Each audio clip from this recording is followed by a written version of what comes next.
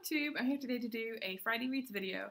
I'm sorry for not um, posting any videos this week. Um, I had a very unexpected um, rough week at work. It was very busy with, um, you know, year end and um, all sorts of fun things there. And then I also had a bad migraine headache leaving me um, to leave work on Tuesday. And so when I came back on Wednesday, I was just, I just had a mountain of work to do. And so, yeah, I just didn't have any energy to uh, film videos. But I'm I'm back, and um, this is actually my um, birthday week weekend, and um, so yeah, I'm hoping to have um, a nice, relaxing weekend, which is what I want my birthday.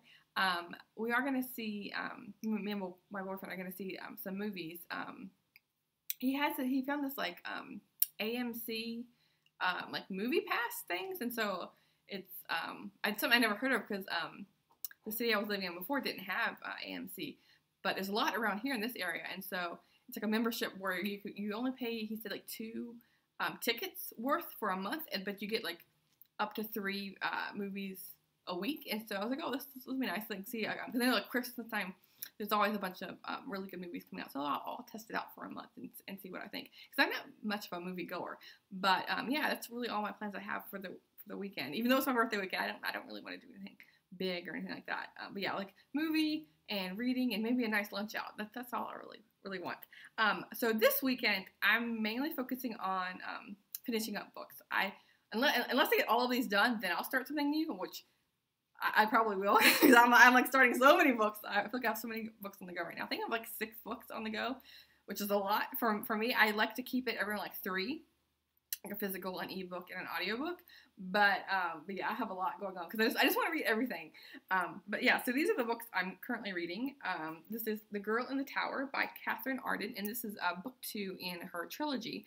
And this is like a perfect winter read. It's set in Russia, and it has a lot of like fairy tale um, themes and like uh, Baba Yaga. And this is the second book, so I'm not going to spoil, any, spoil anything. But it's about a um, a young woman is the main character, and this it's like a fan, it's a fantasy like magical realism series, and she is living in this um, small town in like the north and north of Russia, and um, and so in this one she's off on an adventure, but I, I don't really want to spoil anything, but um, yeah, so I, am really enjoying this one. I, am having a hard time putting it down. Um, but yeah, I, I really want to um, read more um, Russian fairy tales. I've read several of the Grimm fairy tales. And um, and I've read Baba Yaga. Oh, there's a tree again. This cat. Oh my gosh. I've come in a couple times after work and it's been tipped over, but not like this way. It's been tipped against the wall. So um, yeah, that hasn't happened yet. But I, I need to like stabilize it or something. Like uh, glue it to like not glue it to the wall, but like strap it to the wall so it doesn't like fall over. Oh yeah. Every, every time I make a video, you're gonna see this tree like tremble. But yeah. Um, yeah, so I really want to read um, some Russian uh, fairy tales just to um, learn more about the culture because it, it's very interesting and like yeah, so it's like constantly talking about like you know the winter cold and the ice, and so yeah, it's, perfect for this for this time of year. And then the other ebook I'm reading is um, I saw this on two different uh, two or three different channels. I think it was um, Rachel over at Kalanadi and um, someone else. I might be wrong, but this is um, the Ladies Lady's Guide to Celestial Mechanics by Olivia Waite, and this is um, a um, story about a, a, an astronomer, like a really a mathematician, and her because her father is an astronomer, astronomer, and so she grew up um, being surrounded by math, and so she helped him. Um, with his his mathematics, like he was her, her father was coming with all the ideas, and so she was like you know, showing actually, you know, how how his idea, you know, comes to life. And she is in a relationship, and um, her um, lover uh, gets married, and so she is just distraught. And um, her her um, this other woman, uh, she's looking for a translator for um, her French her French work in, uh, about astronomy, and so she goes over to um, to help her out. And then you know she's expecting a you know a, a man to come and, and help out with this math. He couldn't believe that you know this woman was um, was doing all of these figures. And so you know they obviously by the cover you know there um, is a relationship that um, forms. And so I'm just I just started that part. I think I'm like 25 percent the way in. and I'm really enjoying it. It's very fast paced. I think it's it's really short because like my Kindle doesn't show the pages, but it's like around four hours. So yeah, that, that's pretty short because I mean like an average I don't know ebook, it's like eight eight hours something like that. Um, so yeah, but yeah, this is this is really good. And then um, I'm reading A Texas Kind of Christmas, um, and this is a um, anthology with Jodi Thomas, Celia Bonduch, and Rachel Miles. And what I saw this in the library, and what caught my I wasn't the cowboy; it was this author because um, I read several um, of this author's work, and I really enjoyed. She's one of my favorite uh, romance authors that I've discovered um, throughout this year, and also has a really cute dog on the cover. Um, so I've just started. I'm just made my way in, um, and I've started with Jodi Thomas's story. And what I like about her is, oh, there's my dog. Um, you can come over here and uh, get in the picture, maybe. Come here. Maybe it's hard to get on camera because he, he's just so big. Come here, Tucker. And he doesn't he doesn't like being moved. He's like, I'm gonna decide where I'm at. Come here. Let's see. Here he is. There's the face. It's like pouring outside rain, so we didn't get a walk in today. But he actually um he really likes playing hide and seek, which is kind of funny. So like I can um hide in, in like behind the shower curtain or in a closet or, or what have you, and he'll find me. And so I always I have him like sit in like the foyer, and then I go and like hide, and then he comes find he comes and finds me. It's just adorable. Um, so we get some exercise in there um, when it's raining outside, and yeah, yeah, can't get a walk in. But yeah, so anyway, back to the book. um, um, so yeah, what I like about her writing is that it's focusing on many different um, characters, and so you get um, in each chapter is like their own, you know, you get their perspective. And so I think you get a lot more out of the story.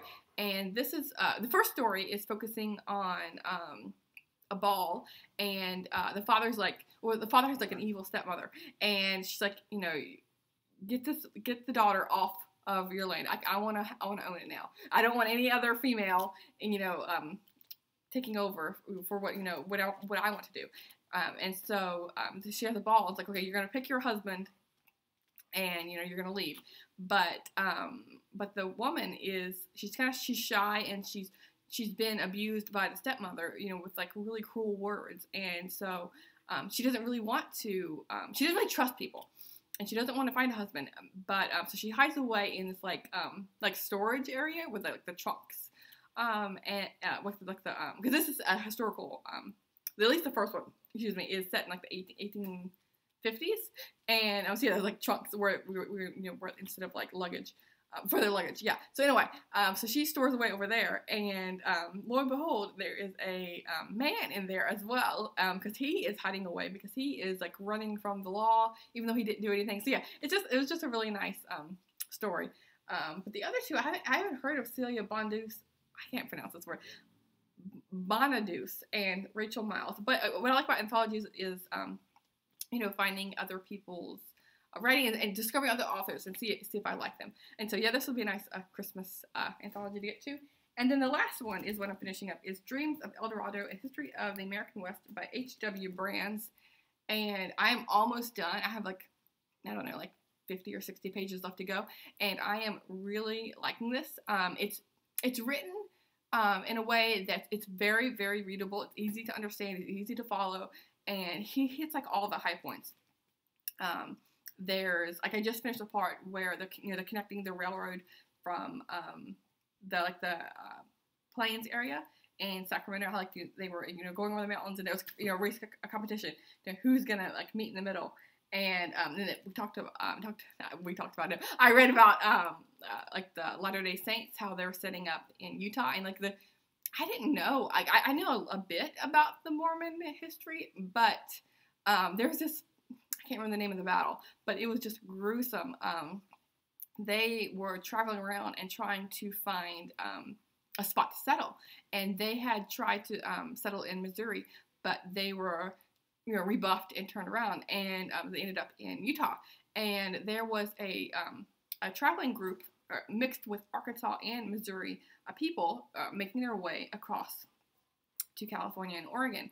And they had run out of supplies, and so they decided to go into Salt Lake City to get to get some supplies. But they were turned around, so like, okay, fine, we'll leave. And so they didn't do anything. We were just going back, and they were you know going back on the road and leaving. But um, they were ambushed by um, some Latter Day Saints and were just annihilated. I think it was it said like 120 people were just killed, and so but um, the Mormons brought a couple uh, a group of um, Indians because they were used as like their militia in a way, and so they blamed it on the Indians. Like, oh, the Indians did it, and it wasn't until years later where they found out, you know, the whites, you know, the white people ha- had done it, and um, yeah, so that was that was really gruesome to read about. Um, so I'm learning lots of new things, and um, yeah, so if you if you like history, um, like American West history, or um, you know, like the whole Western expansion, this this is just it's really good, and um, it's not like it's not it's not like broad strokes.